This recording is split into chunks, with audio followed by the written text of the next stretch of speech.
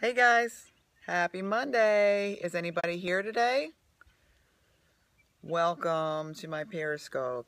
And yes, like I said, it is Monday. It is actually a beautiful day here in South Carolina. Hey Daryl, thanks for joining. Happy Monday. I just got back from Nashville. I'm so excited to be home. It is so warm out here.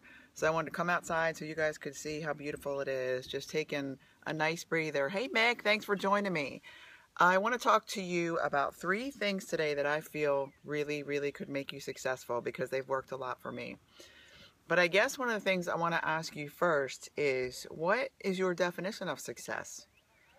Like, if you believe that making tons of money, um, moving completely up your rank of your job, uh, being a great parent, what is it that you define as success? Because it just really, it's kind of all in the eye of the beholder what success is.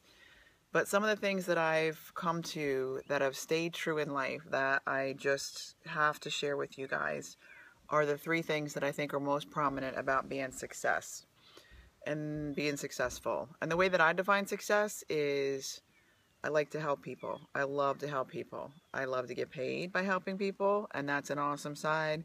But I really feel like helping people is my calling, and a lot of people do as well. So, number one, the first thing that I feel is so important in the success of life, and it could be business, it could be emotion, financial, whatever, it could just be as a person, is it's not all about how great you are in life, okay?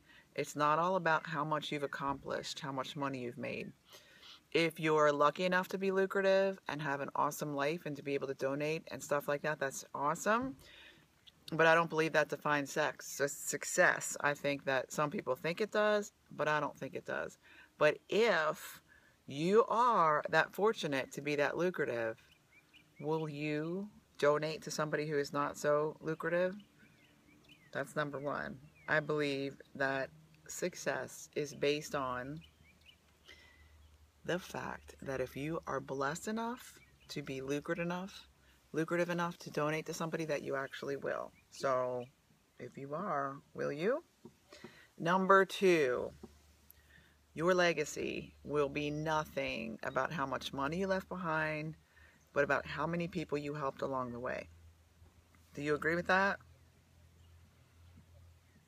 Yes, no, maybe so. Okay, well, that is absolutely true. And I've interviewed some amazing people, and I've heard a lot of talks with some amazing personal development people. And they've basically all said that your legacy will be nothing about the money you left behind. Your family might be happy, your kids might be happy, but basically, it's about how many people you've actually helped along the way. And I know most of us, most of my friends are the same way that we like to make money by doing things that we love, but we also really know that the main part is that we like to help people along the way. And number three, I know you're getting ready to say, well, maybe I don't make as much money as I would like to. Um, I would love to donate to my favorite charity. I would love to be able to give more, but I just don't physically and financially have the resources to give. So I'm going to tell you that's a cop out. It's an absolute excuse. Um, you may be limited but no time or money should be a cop out because you can be able to find something to fit into your schedule to help people. And when you do, you will learn so much.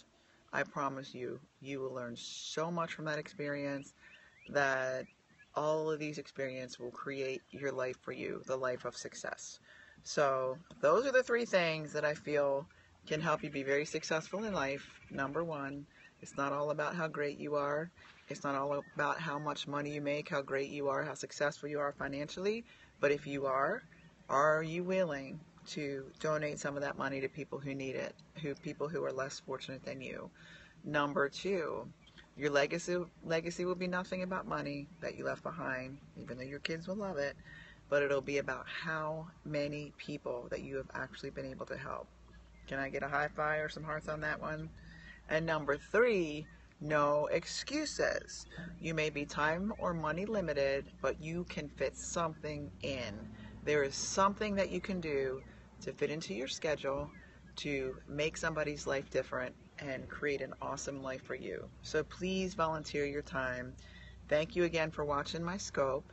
Uh, my name's Heather. If you don't already know me, I am a long-term health and wellness fitness coach and registered nurse. If you would like to get more information or you would like more information from me, you can get me at www.teamtink.com, T-E-A-M-T-I-N-K.com. Just recovering from shoulder surgery, as you can see. I got a nice little scar here, but I'm doing great. One arm's a little bigger than the other, but I am rocking on. It's not going to put me behind. So guys, if you want to be successful and you're willing to help others, what will you do? Will you regularly schedule your giving? Will you pay it forward? I'm asking you. I know that I do, and I'm happy when I do.